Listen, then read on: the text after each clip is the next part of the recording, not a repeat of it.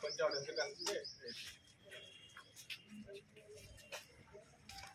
DTF జిందాబాద్ DTF జిందాబాద్ DTF జిందాబాద్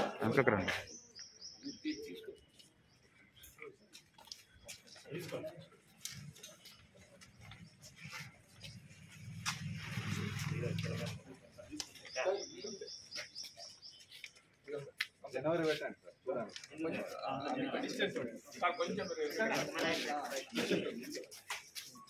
ఉపాధ్యాయుల ఐక్యత. ఉపాధ్యాయుల ఐక్యత. మూడు వందల పదిహేడు జీవోలు వెంటనే. మూడు వందల పదిహేడు జీవోలు వెంటనే. మూడు వందల పదిహేడు జీవోలు వెంటనే. ఆవాజ్. ఆవాజ్. మూడు వందల పదిహేడు జీవోలు వెంటనే రద్దు చేయాలి. డిటిఎఫ్ జిందాబాద్. జిందాబాద్ జిందాబాద్ DTF జిందాబాద్. డిటిఎఫ్ జిందాబాద్. మూడు వందల పదిహేడు జీవోలు వెంటనే రద్దు చేయాలి. మూడు వందల పదిహేడు జీవోలు వెంటనే రద్దు చేయాలి. ఉపాధ్యాయులకు స్థానికతనే పాటించాలి. ఉపాధ్యాయులకు స్థానికతనే పాటించాలి. ఉపాధ్యాయులకు స్థానికతనే పాటించాలి.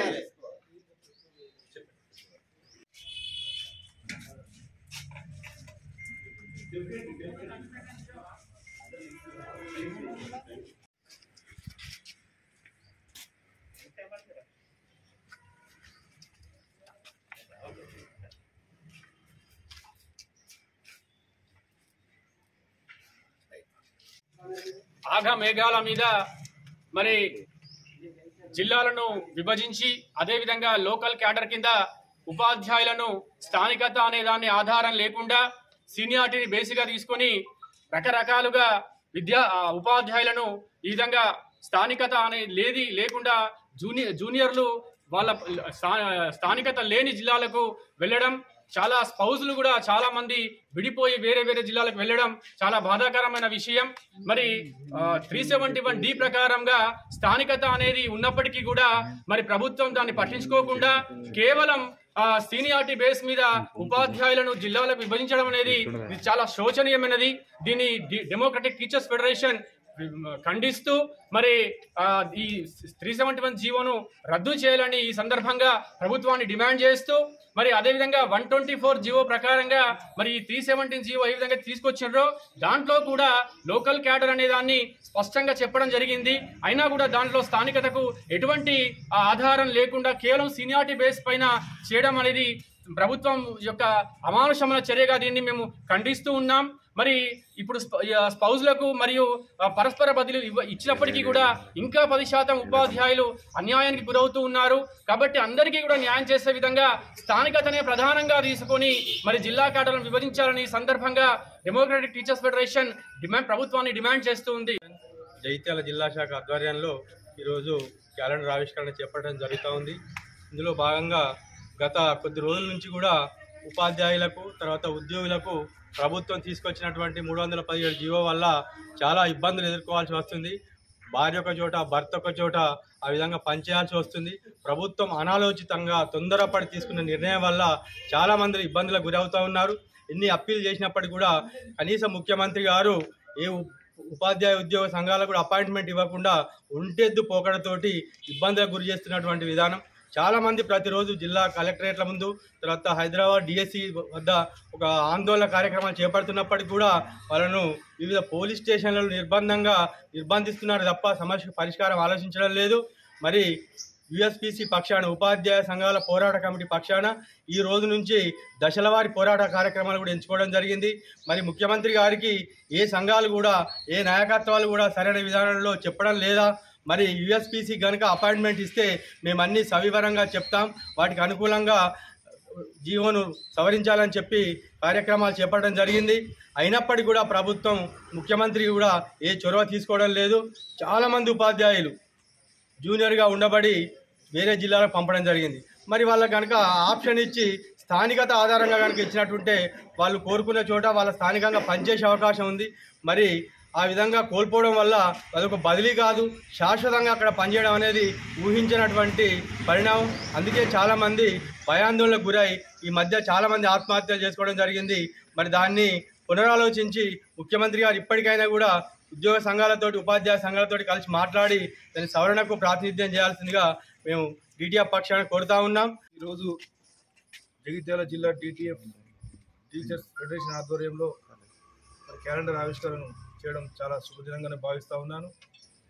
మరి దేశంలో కాకుండా ప్రపంచంలో టీచర్ యొక్క ప్రాముఖ్యత చాలా గొప్పదిగా అయితే భావిస్తూ ఉన్నాను. ఎందుకంటే వాళ్ళు చదువుతా చెప్తేనే చక్కగా పిల్లలకు చదువు చెప్పి రేపటి రోజున భావి భారత పౌరులు తీర్చిదిద్దేటువంటి గొప్ప అవకాశం మన టీచర్లు టీచర్లకు భగవంతుడు ఇచ్చినటువంటి సందర్భ సందర్భాన్ని పునస్కరించుకొని కేవలం వాటితో పాటు కాకుండా క్యాలెండర్ ఆవిష్కరణ. క్యాలెండర్ అంటే ఏ విధంగా మనం కార్యక్రమాలు చేపట్టుకోవాలి? ఏ సమస్యలు ఏ విధంగా ఏదైతే అండర్లైన్ చేసుకుంటే ఆ డేట్ నాడు అండర్లైన్ చేసుకుంటే మనం ఒక యూనిటీగా ఒక కమిట్మెంట్గా ఉండేటువంటి అవకాశం ఉంటుంది కాబట్టి వాళ్ళు క్యాలెండర్ ఆవిష్కరణ చేసినప్పటికీ మరి సంతోషం చేస్తూ అదేవిధంగా మీకు ఇది నీకు హృదయపూర్వక కృతజ్ఞత తెలియజేస్తున్నాను. ఎందుకంటే మీరే డిటిఎఫ్ అంటే ప్రశ్నించేటువంటి గొంతుక. టీడీఎఫ్ అంటేనే ప్రశ్నించేటువంటి గొంతుక. ఆ గొంతుక సరిపోకపోతే అన్న జీవన్ రెడ్డి గారు గత ఎమ్మెల్సీ ఎన్నికల్లో కూడా మీరందరూ కూడా ఏకపక్షంగా ఏ ప్రశ్నించే గొంతు గొంతుక మరి శాసన మండలిలో ఉండాలన్నటువంటి ఉద్దేశంతో మీరందరూ కూడా ఓటేజ్ గెలిపినందుకు నిజంగా కూడా మరొకసారి హృదయపూర్వక కృతజ్ఞత తెలియజేస్తూ డెమోక్రటిక్ టీచర్స్ ఫెడరేషన్ జగిత్యాల జిల్లా శాఖ ఆధ్వర్యంలో ఈరోజు రెండు వేల ఇరవై రెండు సంవత్సరానికి సంబంధించినటువంటి యొక్క క్యాలెండర్ కాలమాని ఆవిష్కరింప చేయటం అభినందనీయంగా పేర్కొంటున్నాను నేను.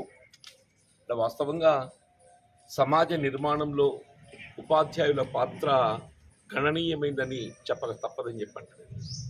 అటువంటి ఉపాధ్యాయులు ఈరోజు తెలంగాణ రాష్ట్రం ఏర్పడ్డ తదుపరి అంటే వాస్తవంగా తెలంగాణ రాష్ట్ర ఏర్పాటే విద్యార్థులు నిరుద్యోగ యువత వాళ్ళు ఏదైతే ఉందో రాష్ట్రం ఏర్పాటుతోని వారికి ఉపాధి అవకాశాలు మెరుగవుతాయి.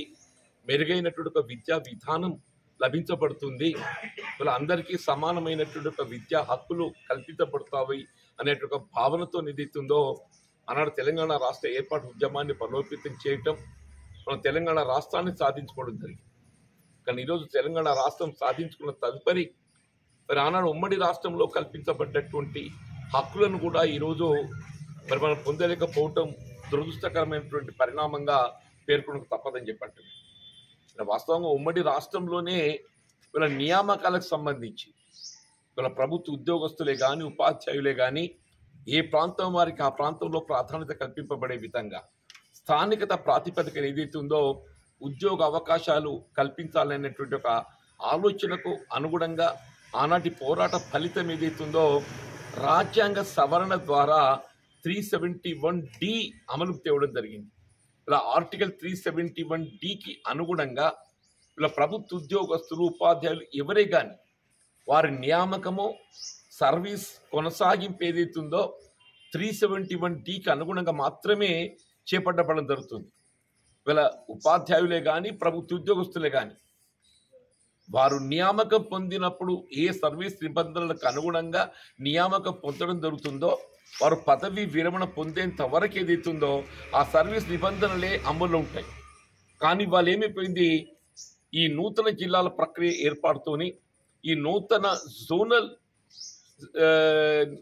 కొత్తగా తెరపైకి రావడంతో ఏదైతున్నదో ఇలా ప్రభుత్వ ఉద్యోగస్తులు ఉపాధ్యాయులను రీఆర్గనైజేషన్ రీఅలాట్మెంట్ అనేటువంటి ఒక నెపంతో స్థానికతను పరిగణలోకి తీసుకోకుండా ఇవాళ ఉద్యోగ ఉపాధ్యాయుల యొక్క ఆలోచనను పరిగణలోకి తీసుకోకుండా వారి ఇష్టానుసారం ఏదైతుందో వారిని బదిలీ చేయడంతో ఏదైతుందో ఇటు ప్రభుత్వ ఉద్యోగస్తులు కానీ ఉపాధ్యాయులు కానీ చెప్పంటే తీవ్ర ఆందోళన గురవుతుంది. ఇవాళ మీరు ఆంగ్ల మాధ్యమాన్ని ప్రభుత్వ పాఠశాలల్లో రాబోయే విద్యా సంవత్సరంకి వెళ్ళి అమలు చేయాలని చెప్పి తలస్తుండ్రు. ఇట్స్ వెల్కమ్ విషయం.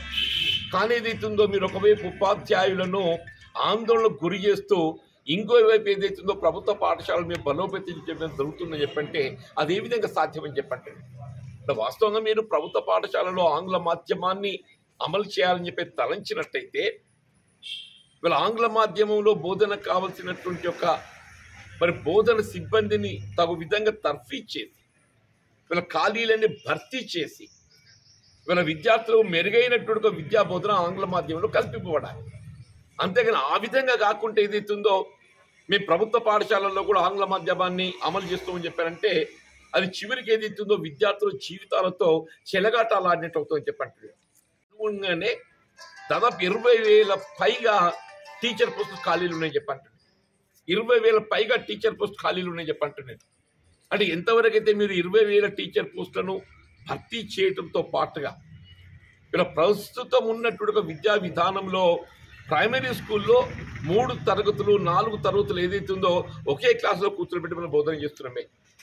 అది ఫస్ట్ కానీ సెకండ్ కానీ థర్డ్ కానీ ఏదైతే ఉందో విద్యార్థుల సంఖ్యను పరిగణలోకి తీసుకొని విద్యార్థుల సంఖ్యను మీరు ముప్పై నలభై పిల్లలు చేరేంత వరకు ఒకే దగ్గర కూర్చోబెడుతుంది కానీ ఆంగ్ల మాధ్యమంలో సాధ్యం కాదు. ఆంగ్ల మాధ్యమంలో మీరు ఎల్కేజీ కానీ యూకేజీ కానీ క్లాస్ వన్ కానీ క్లాస్ టూ కానీ ఏ తరగతికి ఆ తరగతికి విడివిడిగా మీరు క్లాస్ నిర్వహించాలి మీరు విడివిడిగా క్లాస్ నిర్వహింప చేయాలని చెప్పంటే ప్రస్తుతం ఉన్నట్టు ఖాళీలను భర్తీ చేయడంతో పాటుగా అదన పోస్టులు కూడా క్రియేట్ చేయాలి. అదన పోస్టులు క్రియేట్ చేయాలని చెప్పి అంటున్నాను మీరు అదన పోస్ట్ క్రియేట్ చేయడం పక్కన పెట్టి ఉన్న పోస్టులే సంవత్సరాల తరబడి ఖాళీలు ఉంటే భర్తీ లేకుండా విద్యా వాలంటరీ వ్యవస్థ అని చెప్పని మనం ఏదైతుందో బోధన కొనసాగించాలని చెప్పి భావిస్తే వీళ్ళ కరోనా ఏ నేపథ్యంలో ఏదైతుందో వీళ్ళ ప్రభుత్వ పాఠశాలల్లో మరి ఫిజికల్ అంటే భౌతికంగా ఏదైతే బోధన సదుపాయాలు కొంత మనకి ఇబ్బంది కలిగిస్తున్న పరిస్థితులలో మీరు విద్యా వాలంటీర్ వ్యవస్థను పూర్తిగా నిలిపేసిందని చెప్పి అంటున్నాను. వీళ్ళ భౌతికంగా బోధన సదుపాయాలు కల్పించాలని చెప్పి భావిస్తున్న తరుణంలో కూడా మీరు విద్యా వాలంటీర్లు పునర్నియామకం చేయకుండా వాళ్ళు కొనసాగించకుండా ఏదైతుందో ఇలా ప్రభుత్వ పాఠశాల సంఖ్య పెరిగిపోతుంది. ఇలా ప్రైవేట్ పాఠశాలలో ఏదైతే ఏదైతుందో ఈ కరోనా కోవిడ్ నేపథ్యంలో పాఠశాలలు ఎప్పుడు నడుస్తాయి ఎప్పుడు మూతపడితే తెలియకుండా మన విద్యార్థుల తల్లిదండ్రులు ఏదైతుందో ప్రభుత్వ పాఠశాలలు ఆశ్రయిస్తుంది ఇక్కడ పెరిగిన సంఖ్యకు అనుగుణంగా బోధన సిబ్బందిని పెంచాలి. ఇలా పెరిగిన సంఖ్యకు అనుగుణ బోధన సిబ్బందిని పెంచకుండా ఉన్న విద్యావాలంటే వ్యవస్థను కొనసాగించకుండా ఉన్న ఖాళీలను భర్తీ చేయకుండా కనీసం పాఠశాలలో ఊడ్పరం లేకుండా ఇదే ఇది ఆశ్చర్యమే చెప్పంటూ నేను ప్రభుత్వ పాఠశాలల్లో వీళ్ళ మీరు వీళ్ళ ఊడ్పర్లు ఏదైతుందో నియామకం లేకుండా నియామకం లేదు. కనీసం స్కావింజర్స్ అని చెప్పని ఏ ఇరవై ఐదు వందల రూపాయలతోని మనం నియామకం చేసుకోవడం జరిగిందో ఆ ఇరవై ఐదు వందల రూపాయల వేతనంతో నియామకం చేసుకున్నట్టుగా స్కావింజర్స్ వ్యవస్థను కూడా నిలిపివేయడం ఇంత దురదృష్టకరమైన ఒక పరిణామం బహుశా మనం ఊహించి ఉండమని చెప్పంటుండే టాయిలెట్స్ను పరిశుభ్రపరచుకోవడమే కానివ్వండి. ఇవాళ స్కూల్ వేళల్లో ఏదైతుందో నిర్దేశించుకోవడము సాగునీటి సదుపాయాలు కల్పించుకోవడం ఇవన్నీ ఎన్ని కూడా లేకుండా పోయినాయి? దాన్ని సర్పంచులు మేము బాధ్యత అప్పగించమని చెప్పంటారు సర్పంచుల పరిస్థితి పాప వాళ్ళు ఏదైతుందో వాళ్ళు ఉన్న గ్రామాన్ని పరిశుభ్రంగా ఉంచుకోవడమే వాళ్ళకి ఇబ్బంది అయిపోయింది. వాళ్ళు ఉన్న గ్రామాన్ని పరిశుభ్రంగా ఉంచుకోవడమే వాళ్ళకి ఇబ్బంది అయిపోయింది. వీళ్ళ ప్రభుత్వ పాఠశాలలో ప్రధాన ఉపాధ్యాయుడు సర్పంచ్ గారికి ఏదైతుందో మా పాఠశాల ఊడ్పు సంగతి ఏంది అని చెప్పంటే సాల్ సాల్ దియవే మా మాకే దిక్కులు ఎన్ని తెచ్చక్కడ ఉడుతామో అని చెప్పని సర్పంచ్ అంటే చెప్పండి. ఇప్పుడు ఉపాధ్యాయులు ముందు పోయి ఏదైతుందో గదులను శుభ్రం చేసుకోవాలన్నా టాయిలెట్ శుభ్రం చేసుకోవాలన్నా బోధన కార్యక్రమం చేపట్టాలన్నా తెలియని పరిస్థితిలో ఇవాళ అగమ్య గోచరం ఉందని చెప్పంటారు నిజంగానే ప్రభుత్వానికి ఇలా తెలంగాణ రాష్ట్ర నిర్మాణం పట్ల తెలంగాణ సమాజం నిర్మాణం పట్ల ఇలా విద్యార్థుల భవిష్యత్తు తీర్చిదిద్దడంలో మీకు చిత్తశుద్ధి ఉన్నట్టయితే మీరు తక్షణమే ఏదైతే ఉందో ఈ ఖాళీలో భర్తీ చేయడానికి టీచర్స్ ఎలిజిబిలిటీ టెస్ట్. ప్రతి సంవత్సరానికి రెండు పర్యాయాలు టీచర్స్ ఎలిజిబిలిటీ టెస్ట్ నిర్వహించాలి ఎట్లయితే బీఈడి ఏదైతే ఉందో ఉత్తీర్ణులు అవుతారో వారి ప్రతి సంవత్సరం ఏదైతే ఉందో బోధన కావాల్సిన ఒక అర్హత పొందబడే విధంగా ఈ టీచర్స్ ఎలిజిబిలిటీ టెస్ట్ క్వాలిఫై కావాలి. ఇలా ఎస్సీఆర్టీ నిబంధనలు పేర్కొంటున్నాయి చెప్పంటున్నాను నేను. రాష్ట్రం ఏర్పడ్డప్పటికీ ఒక పర్యాయం మాత్రమే టెట్ నిర్వహించిన టూ థౌజండ్ సిక్స్టీన్ రెండు వేల పదిహేడులో నియామకం ప్రక్రియ చేపట్టబోతున్నామని చెప్పని ఏదైతే టీచర్స్ రిక్రూట్మెంట్ టీఆర్టీకి అనుగుణంగా రెండు వేల పదహారులో టెట్ నిర్వహించింది అప్పటికెళ్ళి ఇప్పటివరకు ఐదు సంవత్సరాలు గడుస్తుంది. టెట్ నిర్వహించని రాష్ట్రం ఏదైనా ఉందని చెప్పంటే మొత్తం దేశంలో తెలంగాణ రాష్ట్రం అని చెప్పంటారు మరి ఆయన ఏంటో నాకు ముఖ్యమంత్రి గారి యొక్క ఆలోచన విధానం ఆశ్చర్యం కలుగుతుందని చెప్పంటారు నువ్వు ఏ విధంగా ప్రభుత్వ పాఠశాలలను బలోపేతం చేస్తావో నాకు ఆశ్చర్యం కలుగుతుందని చెప్పి అంటున్నా. ఈ మధ్య శాస్త్ర మండలి ఏదైతుందో టెట్ నిర్వహణకు సంబంధించి మరి ముఖ్యమంత్రి గారి దృష్టికి తీసుకెళ్తే ఆయన ఆశ్చర్యపోతుండే ఇదేంటి ఆ టెట్ అని చెప్పాను. రియల్లీ చెప్తున్నాడు టెట్ ఏంటి అని చెప్పి ఏదైనా ఉపాధ్యాయ పోస్టుల భర్తీకి సంబంధించి నియామకానికి సంబంధించిన సభ్యులే కానీ శాస్త్ర మండలి సభ్యులే కానీ వారికి నియోజకవర్గ అభివృద్ధి కొరకు టైప్ చేయబడిన నిధులలో నలభై శాతం వీళ్ళ పాఠశాలల అభివృద్ధి మౌలిక సదుపాయాల కల్పనకు వెచ్చించాలని చెప్పని అందరూ నిర్దేశించబడ్డాయి. అవి మాత్రమే కూడా ఖర్చు పెట్టి దొరుకుతాయని చెప్పట్టునే forty percent of the ACDP assembly constituency development programme ఇవాళ వెచ్చించాలి. మొత్తం రెండు వందల మంది సభ్యులు ఉన్నారా? నూట ఇరవై మంది ఎమ్మెల్యేలు ఉన్నారు. ఓ తొంభై మంది ఎమ్మెల్సీలు ఉంటారా? రెండు వందల మంది ఉంటారు. రెండు వందలు ఇంటూ రెండు కోట్లు. నాలుగు వందల కోట్లు ఐదు వందల కోట్లు. ఎక్కడ ఏడు వేల కోట్లు? ఎక్కడ ఏడు వేల కోట్లు అంటూ నేను అన్లెస్ మీరు ప్రత్యేక బడ్జెట్ కేటాయింపు చేస్తేనే కానీ అది సాధ్యం కాదు. ఇక్కడ మీరు రెండు వేల ఇరవై ఒకటి ఇరవై ఏడు బడ్జెట్లో విద్య మౌలిక సదుపాయాల కల్పనకు ఎంత ఖర్చు పెట్టిందని చెప్పట్టు నేను.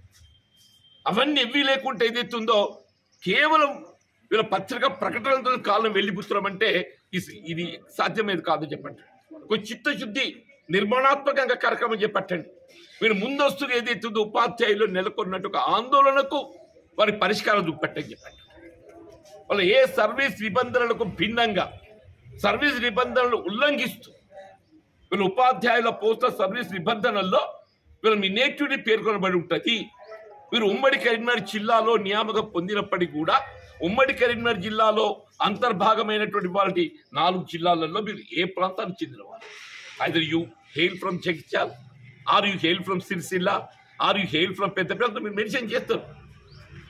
వేర్ ఇస్ యువర్ నేటివిటీ మీరు ఆ నేటివిటీకి అనుగుణంగా అక్కడ పోస్టింగ్ చేయండి? ఎక్కడో అక్కడ పోతాడు. ఎక్కడో అక్కడ పోతాడని చెప్పి అంటాను నేను. That is the law article three seventy one D చెప్పేది అదే చెప్పంటాను నేను. ఈ నిబంధనలు ఉల్లంఘించి వీళ్ళ సీనియారిటీ అన్నటువంటి ఒక ప్రాతిపదికను తెరపై పట్టుకొచ్చి మీ ఇష్టానుసారం అని చెప్పంటున్నాను నేను. భార్య భర్తలు కలిసి ఉంచకుండా సార్. దేశంలో ఎక్కడ లేదు అని చెప్పంటున్న భార్య భర్తలు విడదీసినటువంటి ప్రభుత్వం దేశంలో ఎక్కడ ఉంది అని చెప్పంటే తెలంగాణ రాష్ట్ర ప్రభుత్వం మాత్రమే చెప్పండి ఇలా భీమ్గల్లో సోదరి సరస్వతి ఇవాళ ఆమె అసూలు బాసింది ఆమె బలవన్ మరణాన్ని పాల్పడ్డదంటే దాని కేసీఆర్ గారే నైతిక బాధ్యత వహించాలి. ఇలా రాష్ట్ర ముఖ్యమంత్రి నైతిక బాధ్యత వహించాలంటూ నేను. సాంకేతికంగా technically is liable to be prosecuted under three naught six IPC అని చెప్పంటున్నా మూడు వందల ఆరు ఐపీసీ సెక్షన్ కింద ఏదైతే ఉందో ఆయన ప్రాసిక్యూట్ చేయాలని చెప్పంటున్నాను ఆమె భీమ్గల్ నేటివ్ ఆమెను పోస్తే కామారెడ్డి జిల్లా గాంధారి. కామారెడ్డి నీ సిరిసిల్ల నేరల జోన్ భీమ్గల్ ఏదైతుందో బాసర జోన్. ఇవాళ పిల్లలు వాళ్ళు ఇవాళ భీమ్గల్ ఉన్నారు. వాళ్ళు ఈమెంటే కామారెడ్డి పట్టకపోవాలన్నా ఇక్కడ ఉంచాలన్నా. కామారెడ్డి పట్టకపోతే పిల్లలు ఏ జోన్కి వస్తారు? పిల్లల జోన్ కూడా మారిపోతే పిల్లల నేటివ్ కూడా మారిపోతాయి కానీ ఇది కేవలం మన నియామానికి సంబంధించిన ఎంత బాధ్యత ఉంటుందో భారత ప్రభుత్వానికి భారత హోంశాఖది కూడా అంతే బాధ్యత అని చెప్పంటారు. ఇప్పటికైనా మీ తప్పులు సవరించుకోండి. ఇప్పటికైనా మీ తప్పులు సవరించుకోండి అని చెప్పంటూ నేను ప్రభుత్వ ఉద్యోగ ఉపాధ్యాయుల జీవితాలతో చెలగాటాలాడకండి ఈ రాష్ట్ర భవిష్యత్తు అయినటువంటి ఒక విద్యార్థుల జీవితాలతో చెలగాటాలాడకండి అని చెప్పంటున్నాను వీళ్ళ డెమోక్రటిక్ టీచర్స్ ఫెడరేషన్ ఏదైతున్నదో ఇవాళ మీరు ఆనాటి నుండి ఈనాటి వరకు మీరు ఉపాధ్యాయుల హక్కుల కొరకే కాకుండా ఉపాధ్యాయుల హక్కుల సాధనతో పాటుగా ఈ సమాజ నిర్మాణంలో ఏదైతుందో మీ పాత్ర పోషించే విధంగా మీరు చేస్తున్న కృషి అభినందనీయంగా పేర్కొంటున్నాను చెప్పండి. మీ ఉపాధ్యాయుల హక్కులతో పాటుగా వీళ్ళ తెలంగాణ రాష్ట్ర భవిష్యత్తుకు ఇలా సామాజిక తెలంగాణ నిర్మాణం కొరకు అని చెప్పంటున్నా ఇలా తెలంగాణ రాష్ట్రాన్ని ఏర్పాటు చేసుకోగలరు ఇక్కడ మనం ఆశించింది ఏదైతే ఉందో వీళ్ళ సామాజిక తెలంగాణ నిర్మాణం చెప్పి అంటున్నా. ఆ సామాజిక తెలంగాణ నిర్మాణం కొరకు ఏదైతే ఉందో మీరు చేపట్టబోయేటువంటి ఏ ఉద్యమ కార్యక్రమం అయినా వీళ్ళ పట్టభద్ర నియోజకవర్గంకి వెళ్ళి ఎంపిక అయ్యేటువంటి అవకాశం నా మీరు కల్పించినందుకు.